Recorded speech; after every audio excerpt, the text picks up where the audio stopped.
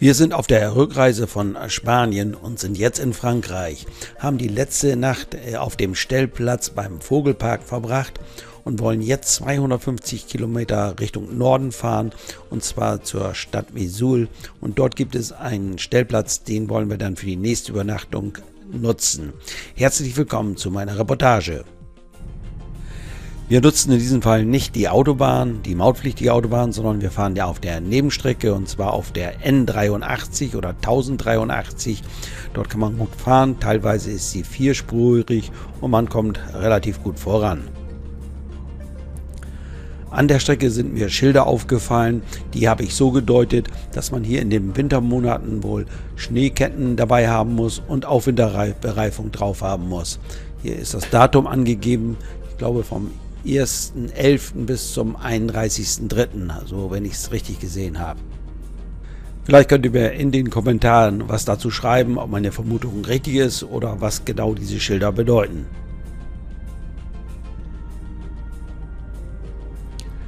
Wir kommen hier natürlich nicht so schnell voran wie auf der Autobahn. Das ist aber kein Problem, denn wir haben heute nur 230 Kilometer bis zu unserem nächsten Übernachtungsplatz. Vorsicht, hier gibt es viele Blitzer, die vorgegebene Geschwindigkeit also besser immer einhalten. Wir haben jetzt die Stadt Visul erreicht und sind jetzt auf der Anfahrt zum Stellplatz. Der Stellplatz liegt etwas außerhalb der Stadt in einem Freizeitbereich. Wir kennen den Platz nicht, wir waren noch nicht dort. Uns wurde dieser Platz von einem anderen Camper empfohlen, der dort auch immer mit Anhänger hinfährt. Und so wollen wir das auch dort mal testen. Sie sind am Ziel. Ehrenmunicipale. Das Ziel liegt rechts. Unser Navi hat uns recht gut hierher geführt. Wir sehen jetzt schon, dort auf der linken Seite Wohnmobile stehen und hier sind wir jetzt auch auf dem Stellplatz angekommen. In den Kommentaren unter dem Video ist ja manchmal zu lesen, warum geht ihr immer auf solche herzlichen Plätze? Ja, diese Plätze sind für uns nur für eine Übernachtung gedacht, vielleicht maximal zwei. Hier haben wir viel Platz und wichtig ist, dass wir ruhig schlafen. Wir wollen ja hier nicht unseren Jahresurlaub verbringen, sondern nur kurz eine Nacht. Der Ursprung von Stellplätzen war in früheren Jahren ja mehr ein Parken für Wohnmobile. Das hat sich inzwischen geändert. Heute sind die Stellplätze teilweise auch komfortabel, aber wer es eben ein bisschen schöner haben möchte, der geht auf einen Campingplatz, um dort dann zu übernachten. Es gibt hier eine End- und Versorgung mit einem Bodeneinlass und eine Servicestation, wo man auch seine Kassette ausschütten kann und äh, dort auch Frischwasser zapfen kann. Wobei Frischwasser, da braucht man äh, diese Jetons, die muss man sich irgendwo holen. Ich weiß hier aber nicht wo. Man kann hier auch Strom bekommen, sehe ich gerade. Dazu braucht man allerdings auch einen Jeton. Kostet meistens einen Euro, also relativ teurer Strom für eine Stunde, die man dort dann Strom zapfen kann. Wir sind hier in der Mittagszeit angekommen, so haben wir noch den Nachmittag vor uns und haben uns entschlossen, noch eine Runde mit dem Fahrrad zu drehen. Und zwar gibt es hier ja einen schönen Freizeitsee und dort wollen wir rumfahren und natürlich auch ein paar Geocache mitnehmen. Um diesen See gibt es einen Rad- und Fußweg, ist etwa ca. 5 Kilometer lang. Vom Stellplatz kommt man direkt an den See Dort gibt es auch einen Badestrand, also wenn die Temperaturen entsprechend sind oder der Sommer da ist, dann kann man hier auch schwimmen gehen. Direkt hier am See ist auch ein Kinderspielplatz und auch eine große Wiese. Also hier können die Kinder toben, kann man mit dem Hund spielen. Und es gibt auch eine Bar und Restaurant in der Nähe. Die Stadt ist etwa ein Kilometer entfernt. Hier der See von oben mit dem Rad- und Wanderweg. Wir starten mit den Fahrrädern, kommen vorbei am Badestrand und dann sehen wir auf der rechten Seite, dort gibt es einen Campingplatz. Ich habe dann nachgeschaut, dieser Campingplatz hat ganzjährig geöffnet, kostet mit Axicard 20 Euro. Also wer mit dem Wohnwagen unterwegs ist oder lieber einen Campingplatz möchte, der kann diesen dann nutzen. Wir waren nicht auf dem Platz, deshalb kann ich nichts Genaues über den Platz sagen. Ich habe nur gelesen, dass ja Fahrzeuge bis 10 Meter Länge dort stehen können. Wichtig ist ja für die Spanienreisenden, dass der Platz auch in den Wintermonaten geöffnet hat. So habe ich es jedenfalls nachgelesen.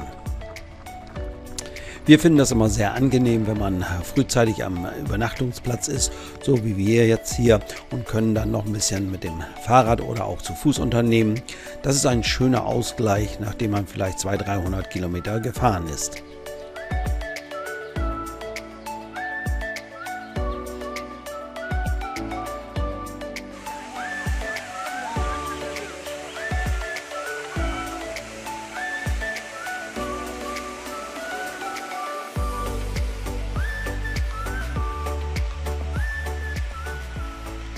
Zum Kaffee sind wir dann wieder zurück am Stellplatz.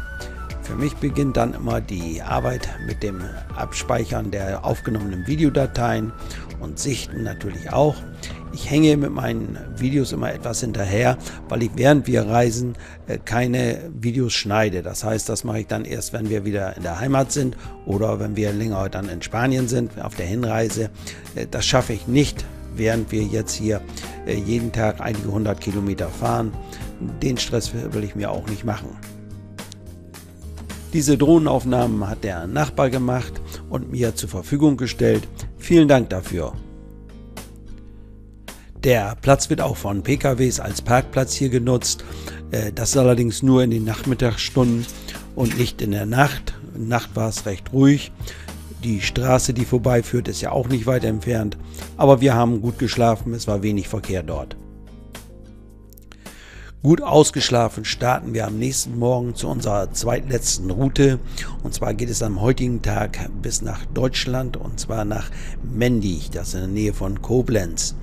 Wir fahren hier jetzt auf der N57.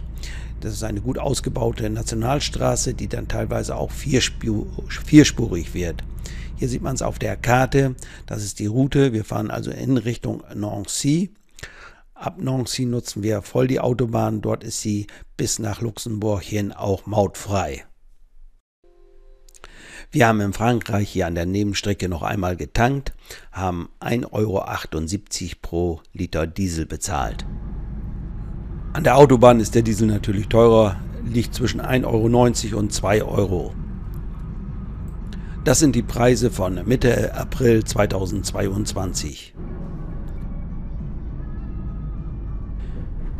Wir haben hier Luxemburg erreicht und fahren hier auf die Tankstelle. Hier kostet der Diesel zu diesem Zeitpunkt 1,71 Euro.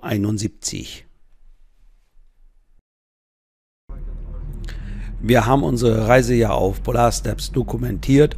Das heißt, hier weiß ich, dass wir 177 Tage auf Reisen waren, dass wir ca. 6400 Kilometer zurückgelegt haben und mehr als 20 Stationen angefahren sind.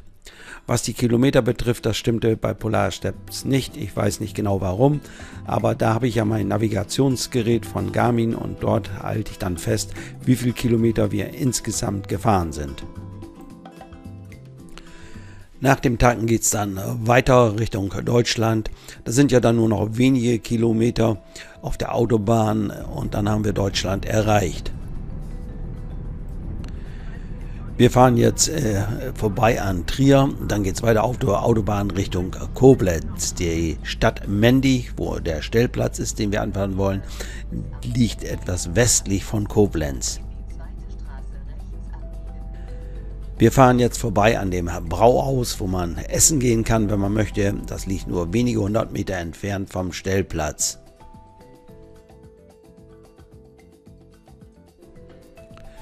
Den Stellplatz hier in Mendig haben wir häufiger genutzt, äh, auch deshalb, weil man hier gut mit dem Anhänger angehängt stehen bleiben kann.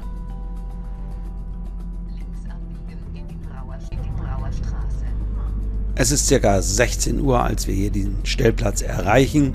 Wir sehen schon von der Straße aus, dass der Platz gut besucht ist.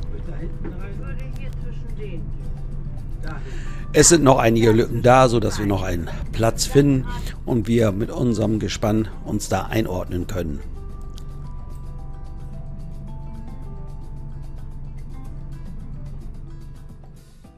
Es handelt sich bei diesem Stellplatz um einen kostenpflichtigen Platz. Man zahlt hier 5 Euro pro Übernachtung.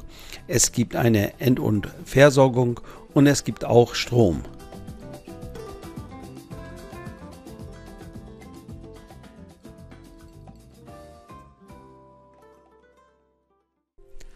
Das war jetzt mein letztes Video zu unserer Spanienreise. Wir haben jetzt noch 400 Kilometer, bis wir unsere Heimat erreicht haben. Dort haben wir dann erstmal einiges an Terminen und wir müssen einiges tun, auch am Fahrzeug. Da werde ich dann noch mal extra darüber berichten. Ich sage erstmal wieder Dankeschön fürs Zuschauen und bye bye, bis zum nächsten Mal.